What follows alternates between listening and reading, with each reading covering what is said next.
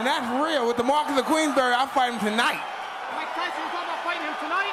Hey, listen up here. Hey. They may call you Kid Dynamite. You mess with me, I'll put your fuse out.